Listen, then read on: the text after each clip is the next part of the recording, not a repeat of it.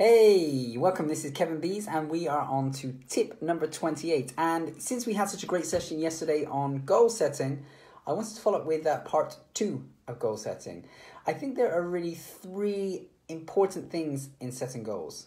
Okay, it's the what, the why, and the how. Now, I'll go through all three of those uh, today, or maybe even tomorrow. May, maybe it takes three days. I'll see how it goes as I start talking. But the the key message around goal setting, there's a powerful part of our brain. Uh, you may have heard of it before, the reticular activation system, and it's it's once we get something in our mind, once we get an intention in our mind, we can start to see things show up in the environment. Now, uh, the common example around something like this is if you ever buy a new car. If you say you just went out and bought a red Mini, when you start driving around, what do you see everywhere on the road? Like the roads are filled with red minis. So you're probably familiar with this example. Now, the same thing is true with our goals. Once we set a clear intention in our mind, we can start to see uh, things in the environment that are going to help us uh, to achieve our goals and to get there to the outcome. So, this is the key reason why we set goals. Uh, the other key reason I, I personally think is why we set goals is because it gives us the opportunity to develop and grow. I don't often think it's about the end thing, the result that you get, the extra money or the relationship. I think it's who you become on the journey to accomplishing that goal. So setting that goal, and as we said yesterday, it needs to be enough of a stretch that you feel motivated to go and do it, but not too much of a stretch that you feel overwhelmed, and not too small that you can't really be bothered. So the key key piece then with the the what, the what are we going to create? What is what are we going to create? What is the goal? Is uh, number one, let's get really clear on what we want and what we want to go towards. Uh, too many people that I meet along the journey uh, in setting their business goals are very clear on what they don't want, the thing that they want to get away from, right? They don't want to be in this career anymore. They want to be an entrepreneur, right? They, so they don't want to be in the career. Now, if they set that goal, I don't want to be in this career anymore, what's their brain focused on?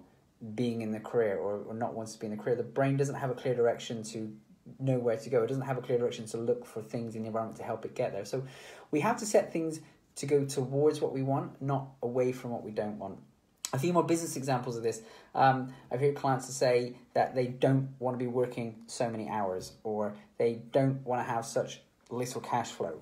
That, that's a good intention, but even better if they said, hey, by the end of this year, I want to be uh, doing X number of hours, so a specific number of hours, and I want to be earning X amount of dollars. So positively going towards what they want and specific. The specificity in this is super powerful because then your brain has something that it can see and focus on and measure towards. So frame it positively and ideally frame it present tense. Now, what do I mean by this? I want you, or I want to encourage you, that when you set your goals, to frame it like you already have it. Okay? Not, I will make $100,000 this year, or I will make a million dollars this year. It's like, in 2019, I have made a million dollars, or I have made a hundred thousand dollars, or whatever your number is, or uh, I consistently worked X number of hours. So it's more like you have it. Now, your brain, it's important for your brain to see and have that visualization that you already have it, because the more you read that goal, the more you check in with that goal, the more your brain is going to recognize, well, this is me, this is my life. And the more you tell yourself this idea over and over again, I will, and not I will, I have, right? I have. So in the present tense, it makes your brain feel like more like, hey, I've got to have that. Like this is my reality. Um, the third thing I want to share with this this and on the what when you set your goals is using emotive language. Right? What is the emotion that you're going to feel when you achieve this goal? I've met too many people along the way who uh, they're going towards their goal and they get this new thing, this thing they never thought they would have, the new revenue, the new car, the new house, and then they get there and they're like, is this all it is? Which is why it's so important for us to define right now when we're setting the goal. What is the emotion that we're going to have? What's the experience that we're going to have? We don't want to get to this goal and then be like, now what?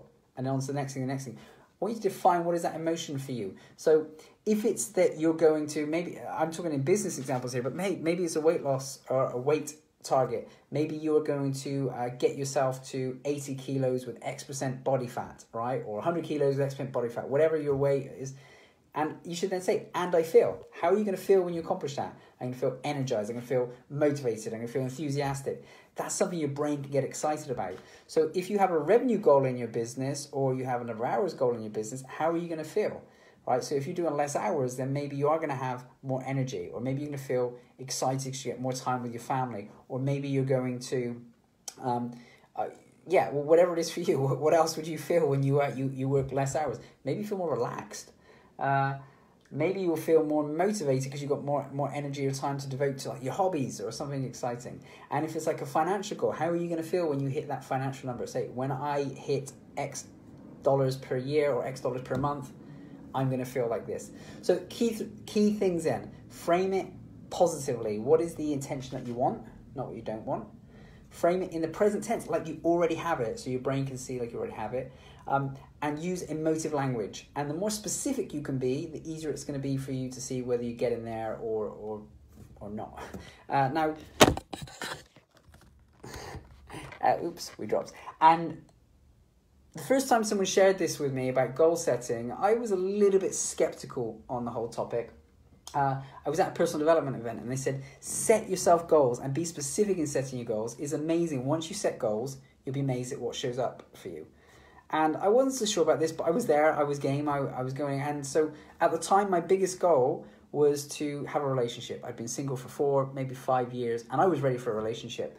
And so I was writing down this goal that I, you know, who was this woman I was going to attract. I was being really, spe- really specific. Her hair color, her height, her age, uh, her values. Like she was into health and fitness. And I carried on. I wrote something like 28. There was 28 different things. And as I'm writing it, my phone beeps, but I ignore it. I keep writing. I finish the task.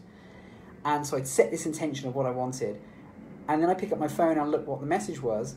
And it was my very good friend Suze. Now, Suze, I'd known for maybe seven or eight years by this point. She'd never set me up with anyone for a date. And in her message said, I just met this girl. I think she'd be amazing for you. And I thought it was a bit weird that was goal setting and that was my topic. And this message comes through at that time. So I'm like, all right, let's meet. Now, the cool thing was, I, uh, I met that lady and then we connected and she subsequently became my wife. Now, it was interesting. Six months into that relationship, we found the goal set or the, the things that I'd set in my goals, you know, what were the specific things I wanted, and she ticked off all of those 28 items. Everything I put down there, she was. Right, so I set this really clear intention, and within like, for me, fortunately, within seconds, she, she she'd arrived before I'd even finished the list that she was there. So uh, I think when you put that thought or that energy out there, I think things show up to help you and support you. Now, I joke with my wife now and I say, damn, why, why didn't I write there that you had a Ferrari as well? Right? So uh, just be really specific on what you want. And it's amazing how quickly things will show up for you or how quickly you start noticing the other examples. Let me share a business example with you. Uh, I was talking about this with a client uh, just this week and she was explaining how she didn't want this type of client anymore. Her marketing was attracting her the type of client that was absorbing too much energy, not spending enough funds with her, you know, and it just it wasn't the kind of client that she wants to keep working with. And so I asked her the question, well, if that's not what you that's what you don't want, what do you want? And she explained that she wanted maybe more of a professional, someone had more idea what they wanted, that they were decision makers, and she was very clear on the specific things that she wanted. And I get a message from her the very next day saying, Wow, it's amazing this type of client started showing up. I've already had two types of these show up today. Now, maybe those clients were always going to come in. Maybe they're always going to come along, or maybe they were already coming to her uh, her environment, and she wasn't noticing. Or maybe just because she set this intention that they're showing up now, and she's going to start putting herself in more environments where the where she can be surrounded by these people, the professional people she wants, and not not the other ones.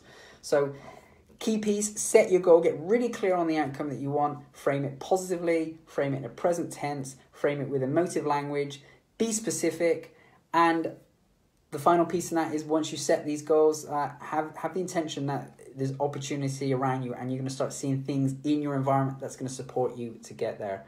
Uh, do that. I will be back tomorrow then. That's, that's the what. That's how to set what you want with your goals. And I'll be back tomorrow and we can talk about why it's important to have a why behind your goals and why it's important to clearly define your how and how to do that. All right, that's been absolutely great. Really enjoyed talking with you today. I will catch you tomorrow for episode number 29.